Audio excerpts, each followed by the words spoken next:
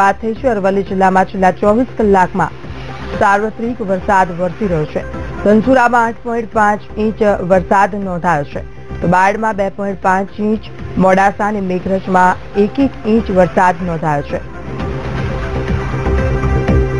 અરવલ્લી જિલ્લામાં પણ છેલ્લા ચોવીસ કલાકમાં સાર્વત્રિક વરસાદ નોંધાયો છે.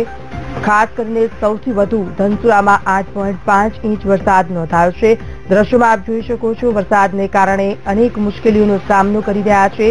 લોકજીવન પણ પ્રભાવિત થયું છે. તેને કારણે અનેક નીચાણવાળા વિસ્તારો છે. પાણીમાં ગરકાવ થયા છે અને તંત્રની પોલ પણ છતી પડી છે.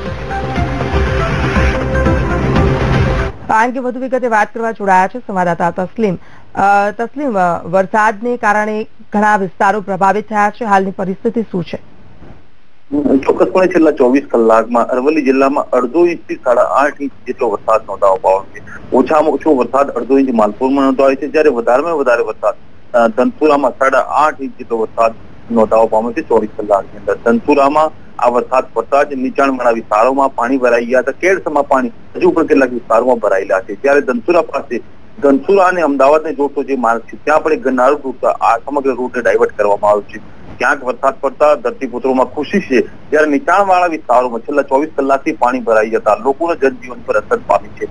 હાલ તંત્ર દ્વારા આ પાણીનો નિકાલ કરવાની યોગ્ય કાર્યવાહી કરવામાં આવી રહી છે. બિલકુલ તાસલીમ સમગ્ર વિગત બદલ આભાર.